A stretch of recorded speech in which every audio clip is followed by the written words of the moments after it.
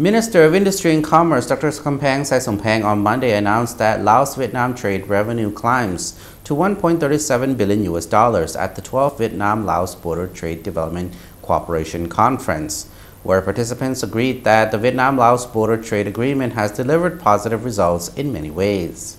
The 12th Vietnam-Laos Border Trade Development Cooperation Conference took place in Vientiane and reviewed the previous year's implementation of the Vietnam Lao Border Trade Agreement signed between the two governments.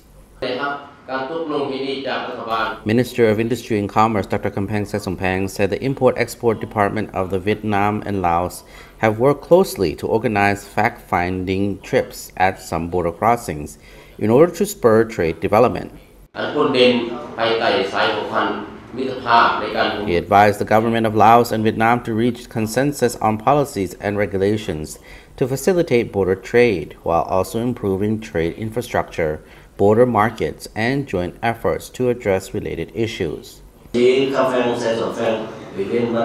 Conference delegates suggested that ministries, departments, and localities should prioritize investment in infrastructure, border crossings, and border markets in accordance with the plan to develop the Vietnam Laos border market network in 2021, as well as adopting mechanisms and policies to encourage enterprise to invest in building border markets and developing infrastructure to facilitate border trade. Laos and Vietnam has signed numerous trade agreements and memorandum of understanding in the fields of investment, transport, and agriculture creating a legal basis for further economic and trade ties. The two sides will coordinate further to expand the scale of border goods exhibitions, organize meetings to share experiences and create conditions and opportunities for meetings, exchanges, and cooperation between the two countries' businesses. Regarding the development of the border market network, 36 markets have been built so far with investment mainly sourced from budgets.